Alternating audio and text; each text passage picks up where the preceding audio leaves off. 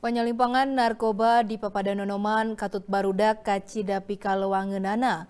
Pikenyinglar ti anggal namula kukituna kolot siswa, guru jeng masyarakat kudu sarendek saigel lebah ngungkulanana.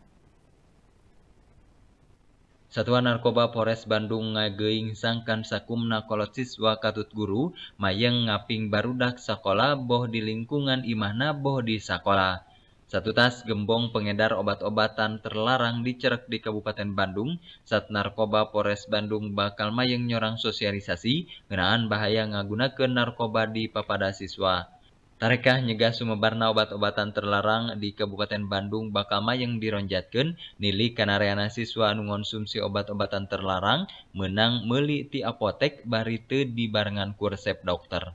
KBO Narkoba Polres Bandung itu Muhammad Ilham nandeskeun ngenteng karena dicerekna para pelajar kusat Narkoba Polres Bandung pihakna bakal mayang nindak turta nyorang sosialisasi bahaya obat-obatan terlarang di papada siswa.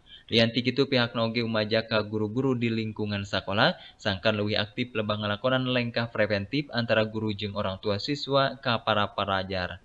Baik, eh, terkait dengan banyaknya peredaran masalah psikotropika maupun obat-obatan di Kabupaten Bandung, eh, jadi kita himbau kepada para pelajar untuk menjauhi terkait dengan obat-obatan.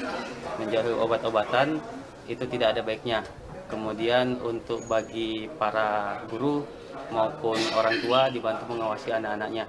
Soalnya pelajar itu rentan terkait dengan uh, obat-obatan maupun psikotropika ini. Pihak nauge muasasa upamaya siswa anu katohian ngonsumsi obat-obatan terlarang bakal diproses jalur hukum serta ditibanan sanksi. Pihak nami harap sakumna orang tua siswa jeung guru bisa laporan upama manggihan apotek anu ngajual obat terlarang. Rezi Tia Prasaja, Bandung TV.